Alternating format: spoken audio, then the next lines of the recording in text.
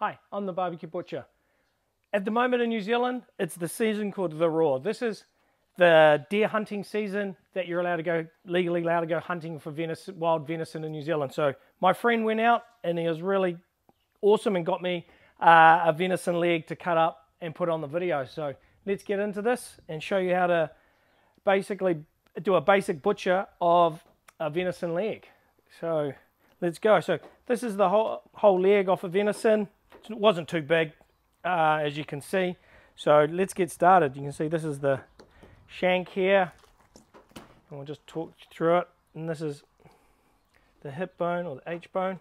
So what we're going to do first, just to clean it up a bit, uh, is take off all these skirts. Just pull them down. You can use this stuff for venison sausages and stuff later. But always remember, take all this stuff off. This is all the stuff that makes it super chewy. So you don't want that in your sausages. So very hard to cut through. So that's all the trim. But we're going to do first, we're going to take off the shank. Again, just take that part off there. Easy. Come through where the knuckle is. Straight through.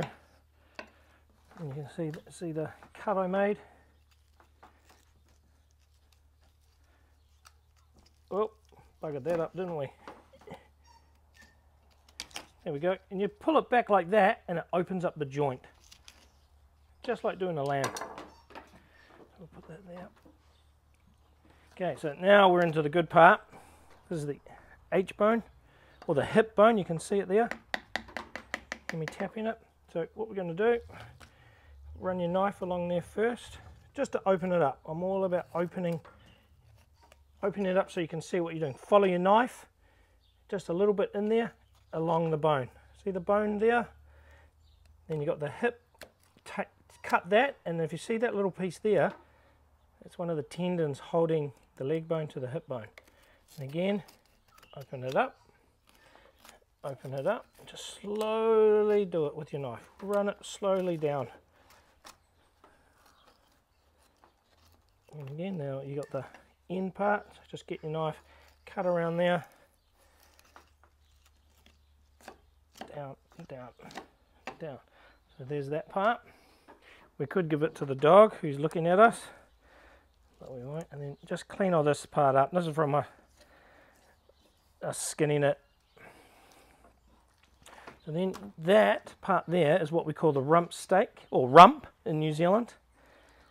This part here is a little piece of eye fillet that's been left on. So you can take that off, take all this stuff off and I'll, just take it off so I can show you the venison eye fillet. So that is a piece of eye fillet and would carry on down its backbone. If it was there, it would carry on down the animal's backbone to make the whole eye fillet.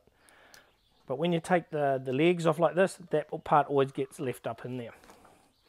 Okay, so here's the next part. We're going to go from this top of the bone down to this part of the bone and then this will open up the whole venison leg. So again, I always start with a little cut there just to, so I know where the bone is and you can always see it. And then you just follow your knife down, see, and it just opens up the bone like that. And then you go like that, and then come over here, and again, open up that part of the bone. At this end, you'll see the kneecap, hear me tapping on it? Open up that part there, so that opens up that part again, and down again. And we come back up here, one more little line, and then cut it at the ends, like that. This part, uh, just to be safe, I'll just put your knife in a little bit like that, and go round the bone. You can just follow with your knife, hold it up, just pull it, pull it, and that comes out like that. Okay.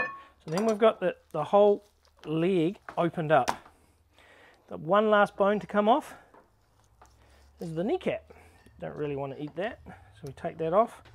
And again, that excess meat can do for mince, sausages, whatever you wish to do with it. Alrighty, so what we're going to do with this cut here is I'm going to show you uh, venison, wild venison leg steaks, which is I'm only going to use the rump, and then the other two cuts I'm going to take take take them off and put them into venison roasts, which is a lot easier to do if you want to. So just get your steak knife, follow it there. You can see the top side big chunky part comes to there. And if I hold it like that, you can see where the rump is. And that's the whole, whole rump there. Cut it straight down. Take that off. I'm going to take off some of the back part of it. And then, oh, just to come under here. So it just cleans it all up. We're just taking off top part. Just gets rid of all that gristle. Take that part off too. That, if that was on beef, would be called the rump cap or the picanha. So that's pretty cool. But it's pretty small. You can't really use that for much other than mince. So there's your rump. Now we're going to cut these into steaks. Turn it that way. Just trim up that part first.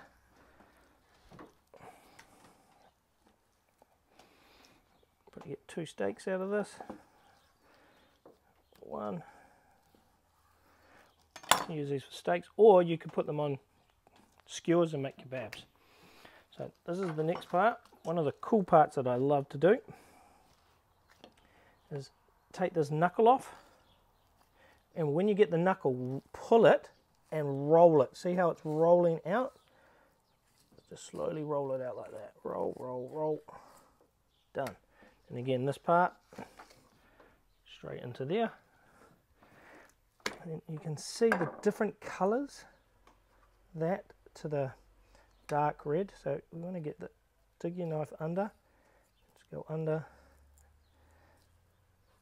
And just take that part off. And then if you've got a good doggy beside you give him a little bit. And then on this side you can see it again the color difference. This just makes it gets rid of the so, so that. Then on this part, I'm going to do a bigger roast, and you can see it here more. This is on the silver side. You don't want to eat that. Be very gristly that. I'll give that to the big guy because he's watching. There you go. He's very good. He doesn't really take food. take out this little piece out of here. That's really gristly. You don't want that part. And normally, there's a little bit of fat or a gland. Sometimes there can be a gland in here. So you want to take that out, which I have. Trim it up inside. That, that was the dog biting as I threw it. So again, we clean up that part, roll it over. Then we want to take off some of this on this side as well. And then you'll see, once I've done it, then we'll tie it, put it into a nice little venison roast. So again, hold it with your fingers and pull as you run your knife down the meat. Just like that, easy. On this side, so on, and get it going. Then get a little, there we go. You can go a bit deeper if you need to, just to make it feel safer for your hands. So just, just be careful last bit here and then we'll tie it and roll it and then that'll be a nice little boneless venison roast. Just last bit on the corner. So take it all off and you shouldn't be left with any.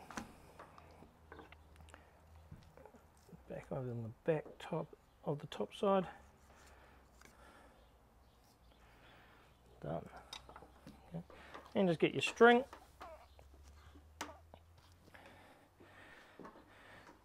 Again, I've got a video for tying knots. So just a couple of those. Just hold it together better. And it's in the in the barbecue or in your oven or however you want to roast it. Slow cook it.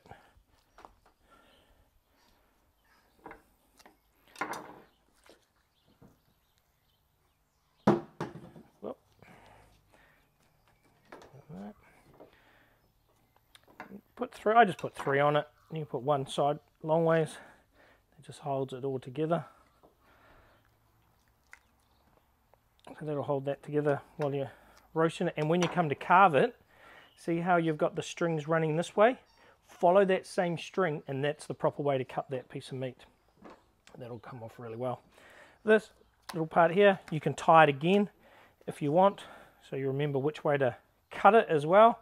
Just a tip um, for people at home, they always ask me, oh, how do you remember which way to cut the steak? So if you cut it, you put some strings on it, just to remind you if you freeze it down and get it back out, then you know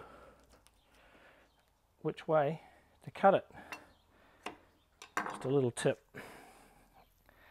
Some people have started using it, so then you'd put that in a bag, freeze it down, and when you're ready to cut it or roast it, when it's cooked, just follow the strings. Alrighty, so there's our basic butcher, home, home butcher of a wild New Zealand venison leg. Remember to like and subscribe, and I'll catch you up soon with another, another video. Thanks a lot.